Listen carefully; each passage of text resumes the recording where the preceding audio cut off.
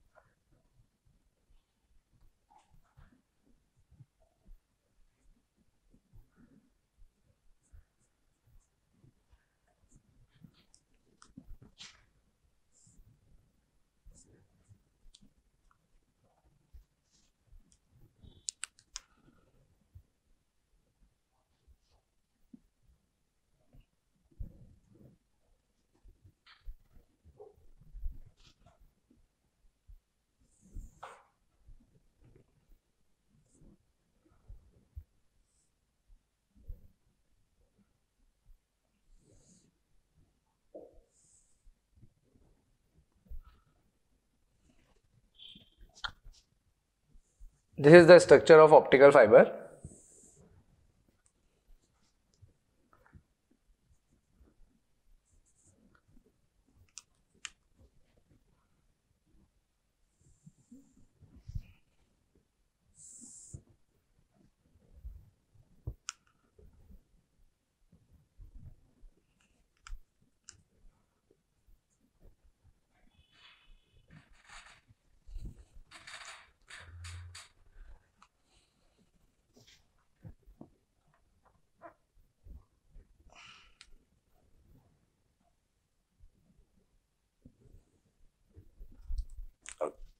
So this is the part in which the light propagates. So here the light incident and it propagates like this by the principle of total internal reflection. So this part in which the light propagates is called core of the optical fiber. So this is nothing but the core of the optical fiber. This part is known as the cladding the outer region of the core is known as cladding. So this is the cladding.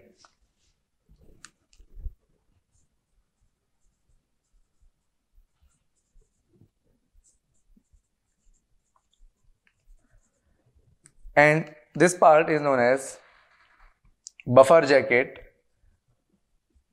which provides shielding to the optical fiber.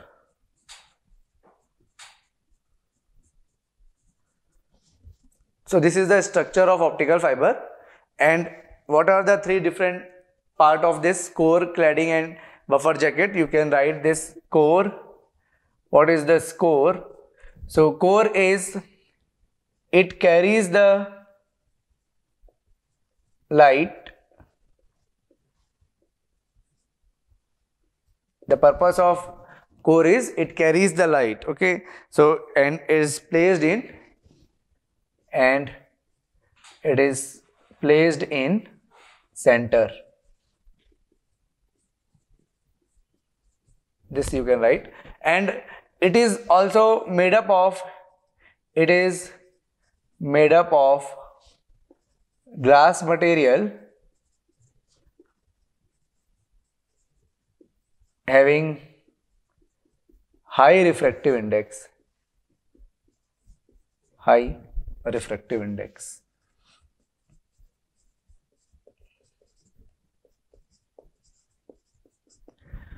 Now what is the purpose of this cladding? So the cladding is it is it used to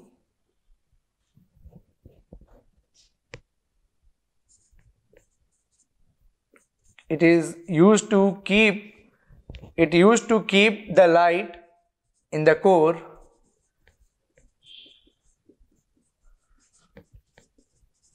Means because of the cladding the light does not propagates through the cladding. It because of the cladding the light keeps on traveling in the core itself. So it is used to keep the light. It is used to keep the light in the core and it is also made up of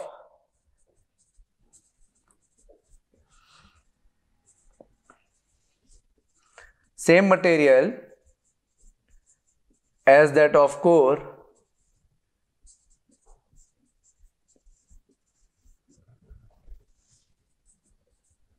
having low refractive index than core.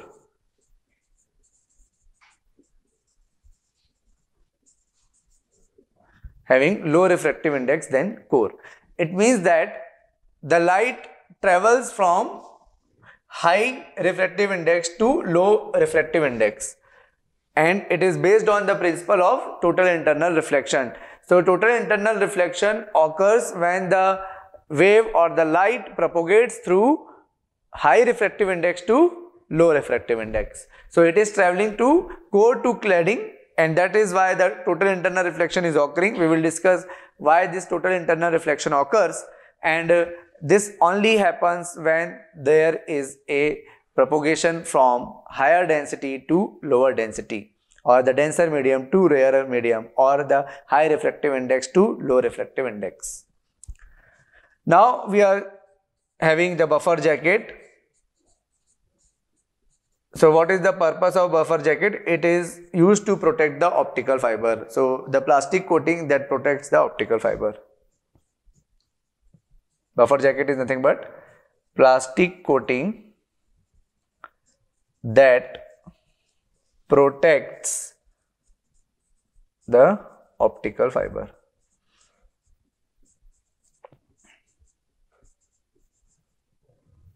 Plastic coating that protects the optical fiber. So this is the core cladding and buffer jacket.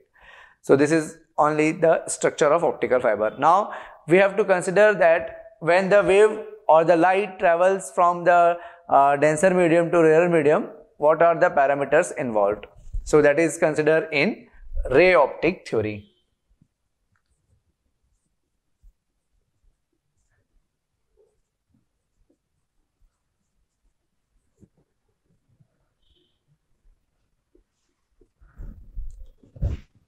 Ray theory or ray optics theory.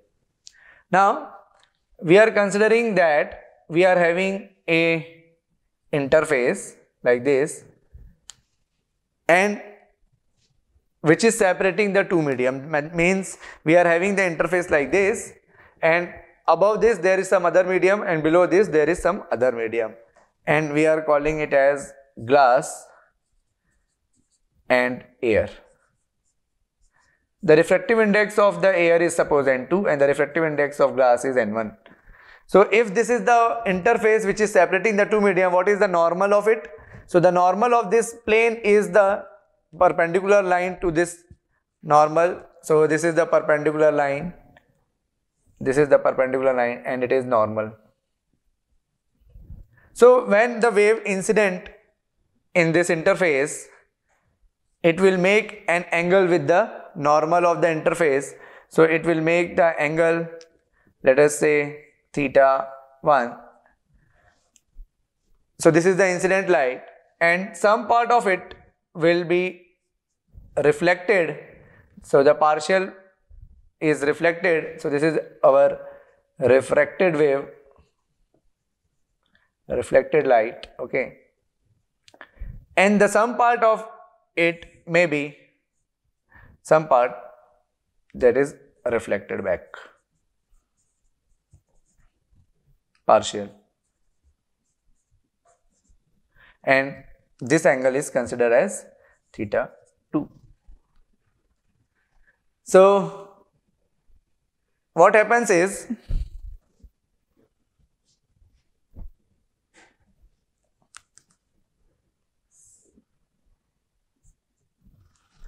whenever there is a two medium involved and the light is incident on the interface, we can apply the Snell's law. So, from the Snell's law, we can write the refractive index of the first medium sine of incident angle that is theta 1 is equal to refractive index of second medium and sine of theta 2. So this is a Snell's law.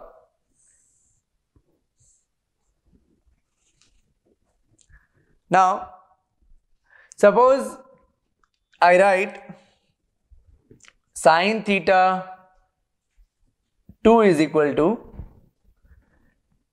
n1 by n2 sine theta 1.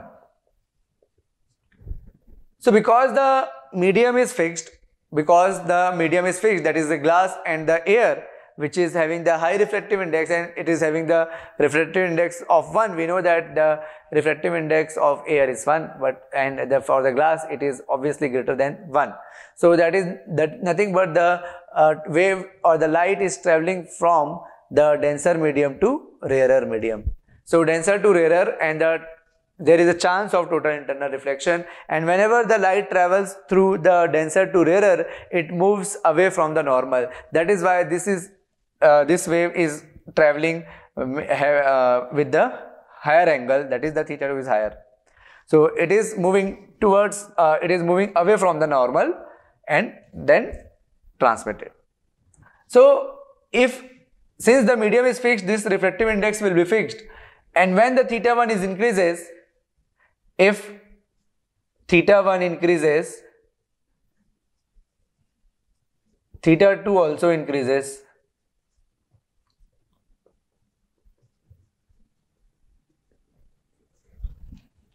So what does it mean? So if you incident a light making an angle greater than theta 1, this reflected light will even uh, making an angle more than the previous one. That is, it is even away from the normal, more away from the normal. That means if you increase the theta 1, theta 2 is increases. So this theta 2 is increasing here, here and here. So it is increasing like this. That means it will make a angle of 90 degree for certain incident angle. So that angle is known as the critical angle. What is the critical angle? So here the first parameter which we are defining is the critical angle. Critical angle, angle of incidence for which angle of incidence for which refracted light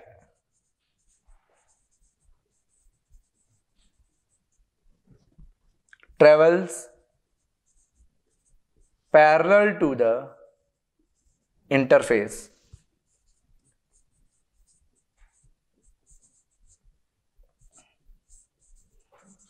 Or theta 2 become 90 degree. Okay? So this is the interface. This is the normal. The wave incident with the angle theta i theta 1 which is equal to theta c. And the theta 2 become 90 degree which is parallel to the interface. This is the light which is now traveling. So here the angle is theta 2 is 90 degree.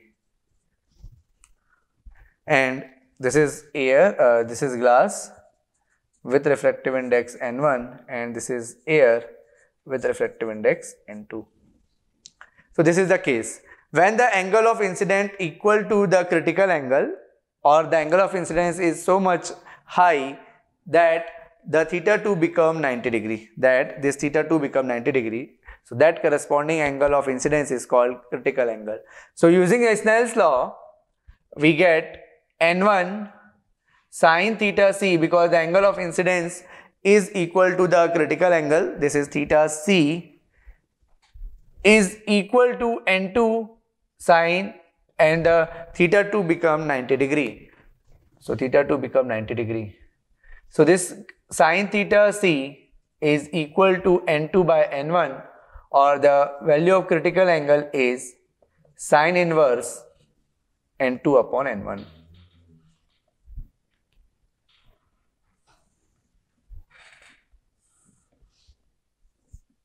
So here we are talking about the N2 and N1 which is the refractive index of the air and the glass. So how can we define the refractive index? We have already done it in the case of uh, plane wave also.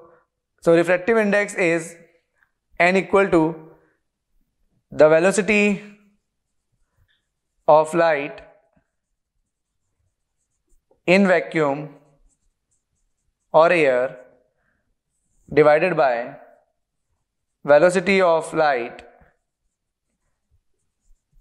in medium. And velocity of light in vacuum is given by c and here it is given by phase velocity. And we also know that this phase velocity is written as root over mu epsilon and for a non-magnetic medium, for non-magnetic medium,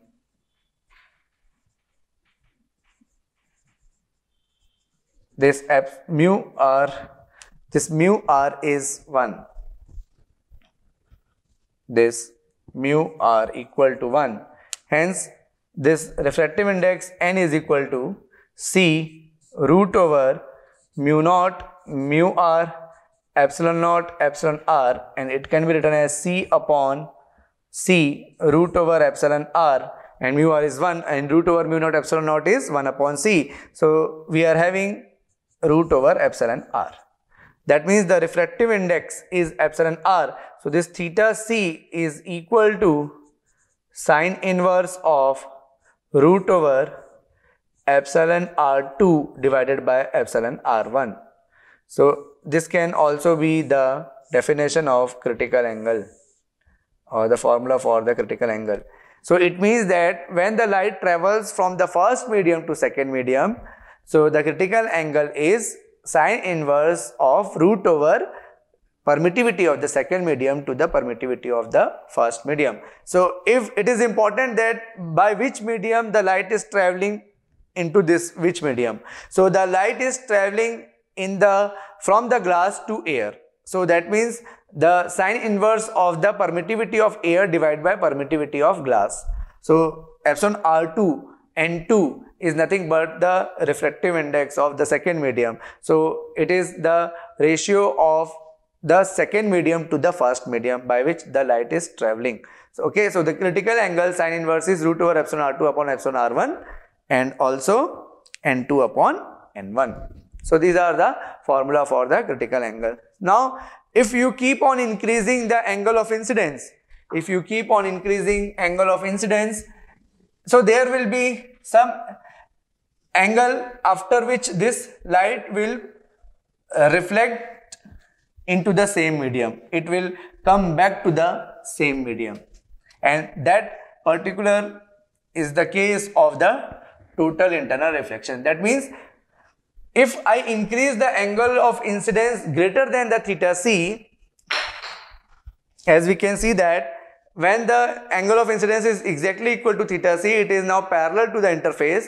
Now, if I increase the angle of incidence greater than critical angle, then the now light will, the reflected wave, reflected wave will make more angle with the normal and it will come back to the same medium that is glass.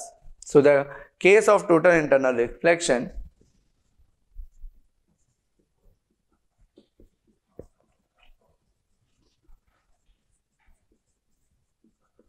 that is known as TIR which is the basic principle of optical fiber. So total internal reflection occurs when angle of incidence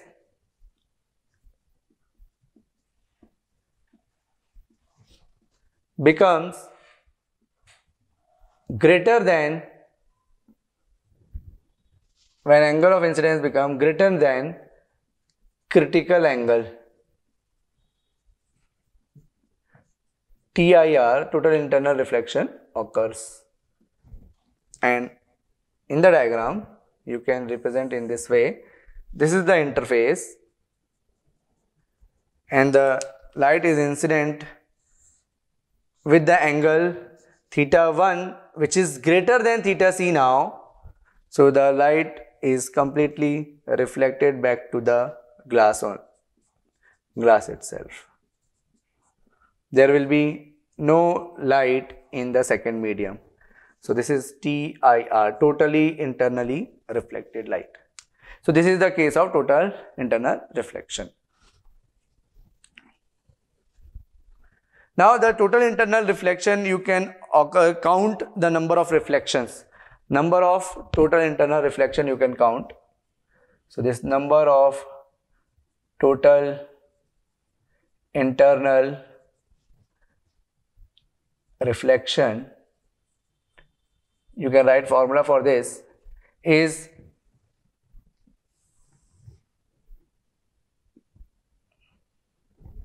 you can write this formula it is the ratio of length of optical fiber divided by skip distance.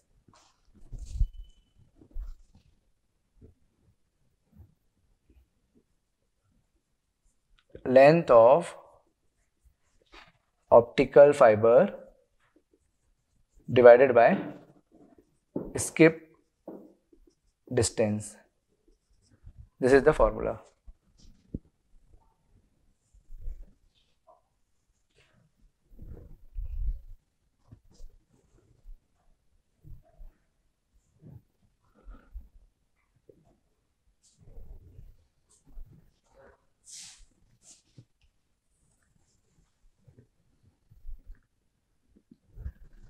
Now the total internal reflection we can also calculate with the help of uh, for a optical fiber that is skip distance and the skip distance is nothing but the successive distance between the two reflection. Successive distance between two total internal reflection. So if I make a optical fiber suppose this is the cross section and uh, this is the core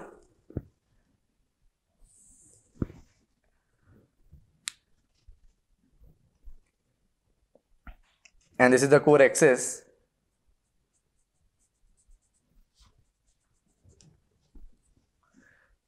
So suppose the light incident from here and it totally internally reflected by the core cladding interface.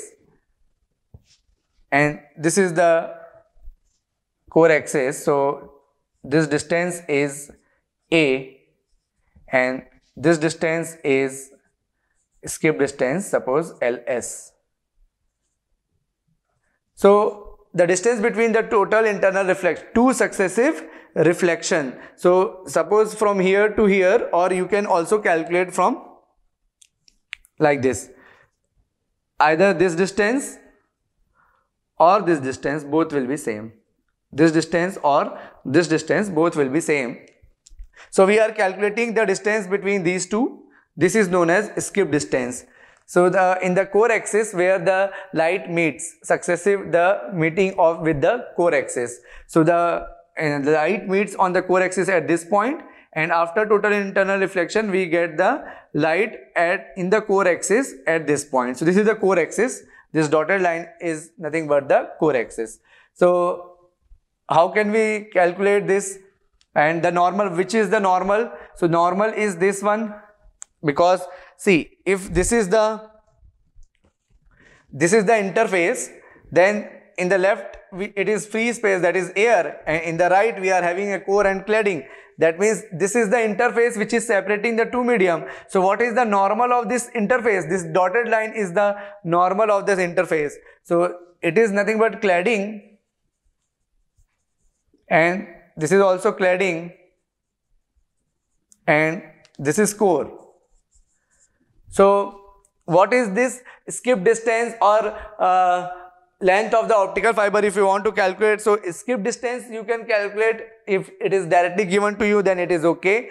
And if it is not given to you then also you can calculate it with the help of this formula.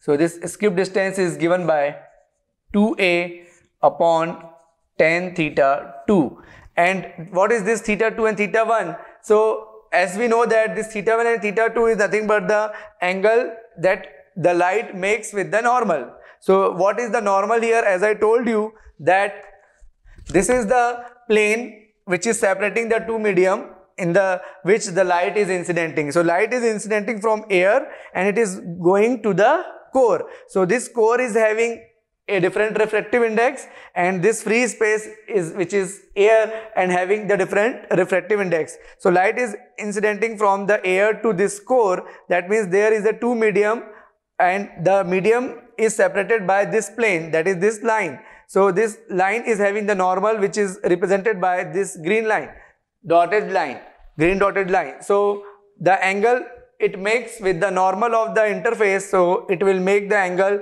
theta 1 with the normal and it is the angle theta 2 which it is making with the normal. So this is theta 2 and this is theta 1. So the skip distance is given by ls equal to 2a upon tan theta 2 or 2a upon root over uh, you can write n1 upon sine theta 1 whole square minus 1 this is the formula. Okay? So this is the formula for skip distance. And once you calculate the skip distance you can substitute the value of skip distance here and calculate the total number of reflection because the length of the fiber will be given to you if it is asked about the number of total internal reflection. Okay, so skip distance is the distance between the two successive reflection of the ray. So the two successive reflection of the ray is this one. This is the two successive reflection or you can consider from here to here that gives the same distance. Now, uh, what is the A? So, you can have the value of A that is simple the radius of the radius of A is the radius of core and here we have written 2A. So, 2A is the diameter of the core. So, this diameter of the core is nothing but 2A. So, this is all about the uh, total internal reflection and how many number of reflection you can calculate from this light optical theory.